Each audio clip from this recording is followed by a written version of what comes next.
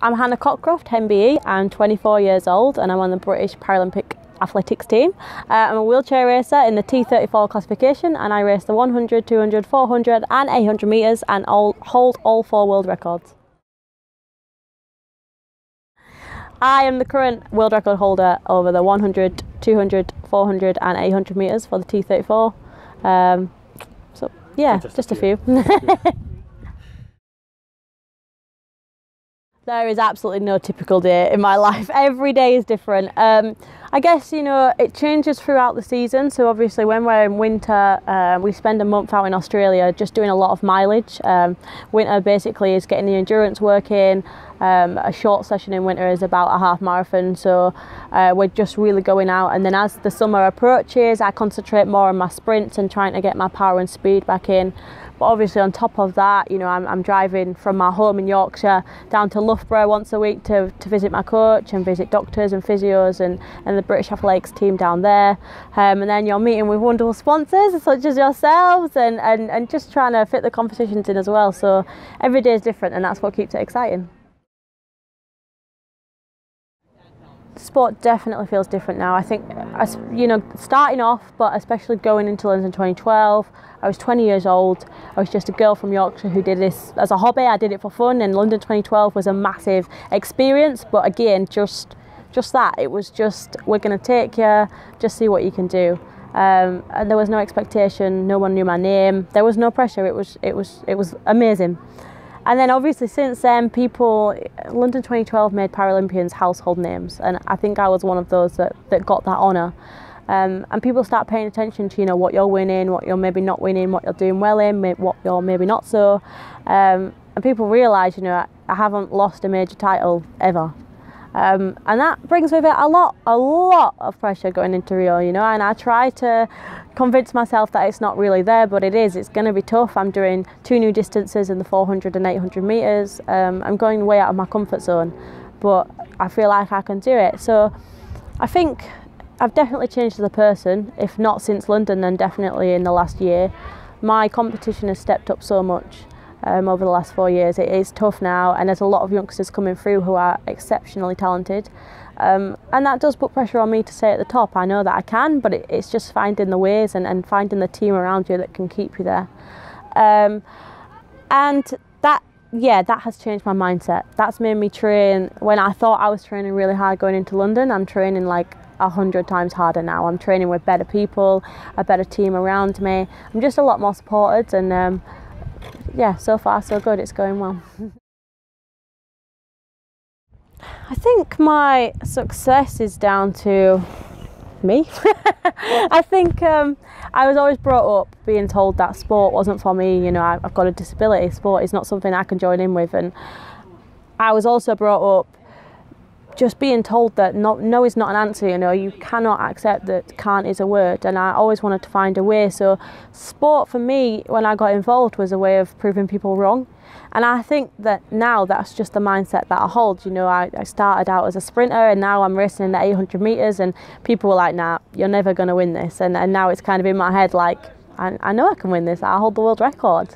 Um, so for me, I think that's what my success is down to. I guess a little bit of um, determination, maybe a little bit of bullishness, but it works. And um, I'm not even going to lie, I love winning. I love the feeling. I've experienced it a lot of times, and that's what keeps you going. You know, if you stop training, you're going to lose this magical feeling, and it's just not worth it. It is an well, you know, wheelchair racing is an individual sport, and it is just me when I'm out on the track. But there's so many people that go into what everybody sees every season. You know, obviously my coach uh, and my team at British Lakes, who kind of, you know, without a training plan, I have no idea what to do. S&C coach telling me what to do in the gym, what weights to lift. But it's even down to sponsors who, who you know, top end and Invacare make sure I have the best equipment, I have exactly what I need, and and without that, you definitely won't see me out on the track. So there's just so much, and you try not to rely too much on other people. But as an athlete, there is always so much that you need to do that you have to sometimes kind of hand one or two jobs off. So you know, we're now in the final lead up to Rio. I kind of realised, you know, we're we're in training camps, um, pretty much until we leave to Rio now, leaving me not very much time between competitions and training to, to kind of pack and get ready. So uh, Invacare have helped me out massively, kind of trying to get my chair equipment together, trying to make sure it's safe and it gets to Rio well and, and, and in one piece, which is important. And then, you know, I've got my parents at home trying to do all my packing and the other pieces. So you try to do it and you try to be organised, but you know, when every performance that people see out on the track, there's been hundreds of people involved in that. So I started with racing when I was 15, so in 2007. Um, I got into it through the Sainsbury School Games, which is like a, a massive multi-sport event that we hold here in the UK. Um, and it's just a junior event. You get to go out, and I actually did the seated discus when I was there and off the back of it got invited to a talent ID day where we take loads of talented athletes and, and let them have a go at all these other sports and that's where I found wheelchair racing and when I first sat in the race chair it just it was just something completely different. I'd, I'd played basketball I'd played rugby I'd obviously done my seated discus I'd swam but wheelchair racing I could go fast without being shouted at. I didn't have to hold on to anybody you know going around up until that age I always had to hold on to an adult or a parent or a brother or just someone was always there and I had to depend on them to get around. And I suddenly had this independence and this freedom that once I was out on the track in the chair then I could do whatever I wanted and no one could really stop me. No one could tell me to slow down or be careful. It was it was up to me and I just fell in love with it. So after that you know it came at a perfect time. I was doing my GCSEs so training became a perfect excuse not to study. Um, and just started competing at, at, events like we're at today, just domestic events, going around and, and I slowly, I mean, at the time there were not many females involved in wheelchair racing in, in Britain. Um, so I, I kind of started at a lucky time, I guess. Um, but off the back of Britain's return from the Paralympic Games in 2008, uh, we won one athletics gold medal, which is not great.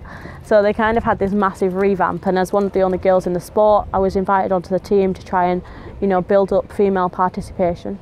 Um, and people kind of think that, you know, that was it. I was on the team and, and that I made it. But actually, I sat on the team then for three years and didn't get an international vest, didn't race outside of the country. I just trained really hard and got a better support team around me. And, you know, then I started breaking world records and people really started to pay attention to me. Um, and I think that's when it that's when it changed from being a hobby. That's when it was like, oh, oh, I could do something with this. Yeah. Um, so in 2011, um, Britain, the British team hadn't quite met their quota on females that they had to send to the World Championships. Um, and as a female who had sat on the team for a long time doing not a lot, uh, they asked me if I'd like to go. 18, would you like a trip to New, uh, New Zealand for a month without your parents? I said yes, obviously, and became double world champion to everyone's surprise. Um, kind of just went out there again, no pressure, just, just to have fun. Um, and came back with two gold medals, and, and that was the moment I think everyone just started to pay attention to me then. You know, I started getting the top of the top support. I started, you know, I got a proper training program. I, I got, you know, I started training every single day, um, and and that's when things changed. So it was a quick journey, but not really that quick. think my advice to anyone is just take every opportunity you've got. For so long, I was not handed opportunities, and when I got given the opportunity to try sport, I was so close to saying no. I was scared, I was worried, you know, I don't know anybody, I don't have any friends, I'm going to be the odd one out.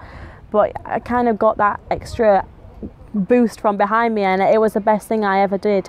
And you know what? you might hate it and that's fine you know just go out and try everything. Even if it's not in sport just try it and find something that you absolutely love because doing something you love for a living is the most incredible thing you know. You get up every morning and you just want to go to work. And I just can't imagine life without sport now you know. It makes you feel good it makes you feel happy. You get to travel the world you get to do something you love and you make the most amazing friends. Um, so yeah, my advice is just go out and try everything, and even if you just try it once, you can say you've been there and you've done that, and it it'll be worth it.